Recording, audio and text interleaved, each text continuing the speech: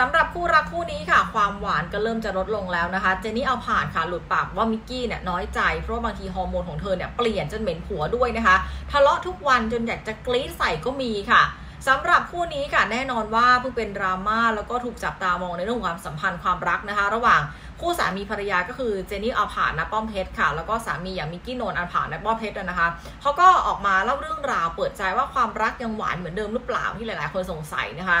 ล่าสุดค่ะเมื่อวันที่ 24 กรกฎาคมเจนนี่เนี่ยออกมาเปิดใจในรายการคุยแซบโชว์ค่ะ ถึงเรื่องราวชีวิตคู่ของตัวเอง เธอเล่าว่าเจนเนี่ยไม่ได้เลี้ยงลูกแบบตามใจเลยแม้แต่นิดเดียว เพราะว่าเริ่มต้นเลยเจนน่ะไม่ใช่เด็กที่โดนสปอยมาตั้งแต่เด็กๆ เป็นเด็กที่ดูแลตัวเอง เลี้ยงดูตัวเอง เลี้ยงพ่อเลี้ยงแม่เลี้ยงทุกคนในบ้านเลย ถึงเจนจะมีมากแค่ไหนเนี่ย เจนก็จะไม่ดูแลลูกแบบอยากได้ของเล่นชิ้นไหนก็ไปให้เลย ไม่ทำแบบนั้นเด็ดขาดก็ ไม่ไม่โอเคอะเจนจะไม่ทำแบบนั้น เพราะว่าพ่อเขาเนี่ยคือเอาจริงๆถามว่า spoil ไหมพ่อเขานี่ตัว spoil เลย spoil ขั้นสุดเลย จนเจนพูดคำนี้ขึ้นมาเลยว่า เราไม่ได้มีหมื่นล้านนะกรุณาอย่า spoil ลูกเจนนะพูดเลย เราไม่ได้มีหมื่นล้านนะ ไม่ต้องซื้อเจ็ดสีเจ็ดศอกทุกอย่างแบบนี้ ให้เขารู้ว่าอะไรที่ได้มายากๆบ้างพอพูดแบบนี้ถามว่าทะเลาะกันไหมก็มีทะเลาะกันบ้างค่ะพอพูดปุ๊บทะเลาะเลยทะเลาะกันทุกวัน เรื่องแบบอะไรจุกจิกๆแบบเนี้ยทะเลาะกันเพราะว่า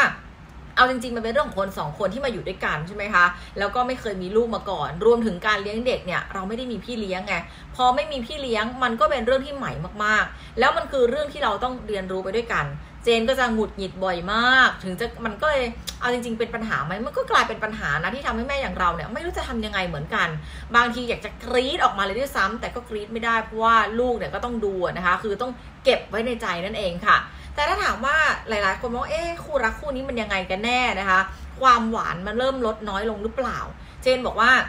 จริงๆอะเจน่ะลดตลอดเลยนะ เพราะว่าเราสองคนต้องไปโฟกัสที่โนล่าตอนนี้โนล่าเป็น center มากๆเลย เราเหมือนเป็น boss อะแล้วเขาสองเหมือนเราต้องดูแลเขาอะนะคะ เหมือนว่าเขาก็ต้องแบบคอยมาคุมเราอีกที คือต้องดูอะโฟกัสไปที่ลูกอย่างเดียว เราต้องดูแลเขาให้ดูดีที่สุดนะคะ มิกก็อาจจะมีน้อยใจบ้างแหละ ก็แน่นอนมีน้อยใจแน่ๆ แต่ไม่มีสิทธิ์น้อยใจปะคือมันฮอร์โมนด้วยค่ะ เคยได้ยินไหมเหม็นผัวมันก็มีบ้าง ทำอะไรมันก็จะแบบขัดหูขัดตาไปหมด ยิ่งเวลาเจนทำงานเหนื่อยๆมาแล้วต้องกลับมาดิวกับโนล่าอีกโอ้โห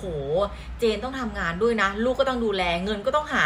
ชีวิตมันค่อนข้างจะไม่ได้หวานเหมือนกับตอนที่ยังไม่มีโนล่าต้องจับมือกันตลอดเวลาเพราะว่าเพื่อนลูกเนี่ยนะคะ เวลาเลี้ยงลูกแล้วเนี่ยความคิดเห็นไม่ตรงกันเอาจริง ๆ แล้วเนี่ยในเรื่องของความคิดเห็นนะพูดเลยว่ามันไม่เห็นตรงกันตลอดเวลาหรอกแต่เรามีความคิดว่าเออ เราแบบรู้สึกว่าก็ปรับกันนะ เพราะว่าเราไม่ได้คิดว่าความคิดของเราถูกเสมอ เพียงแต่เราเนี่ยถอย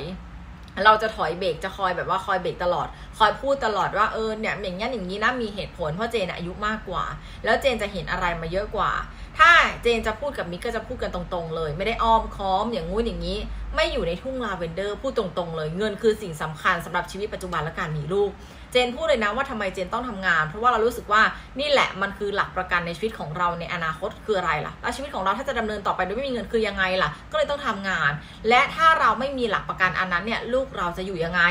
อยากให้โนล่าเนี่ยรู้ว่าวันนี้แม่ทำทุกอย่างเพื่อลูกนะ ทุกสิ่งทุกอย่างที่แม่ทำเนี่ยไม่ว่าจะเป็นการออกกำลังกาย การกินการดูแลตัวเองทุกอย่างมันมีเหตุผลหมดเลย เจนไม่ได้ทำเพื่อความฉาบฉวยนะ เจนไม่ได้ทำเพื่ออยากผอมอยากสวย เวลาเจนจะทำอะไรเจนจะมองหน้าลูก เจนเนี่ยจะชอบมีการถ่ายหน้าลูกเวลาลูกนอนหลับ เวลาทำงานเหนื่อยก็จะเอามาดูแล้วก็ยิ้มทุกสิ่งทุกอย่างเนี่ย เจนทำเพื่อเขาหมดเลยค่ะ ก็เรียกว่าหลังจากที่มีกระแสดราม่าว่าคู่รักคู่นี้เนี่ยสอแววจะเลิกกันหรือเปล่าหรืออะไรยังไง เธอก็ออกมาบอกแล้วนะคะว่าจริงๆเนี่ยความหวานมันก็มีลดลงถามว่าทะเลาะกันไหมก็มีทะเลาะกันทุกวันเป็นเรื่องปกติค่ะ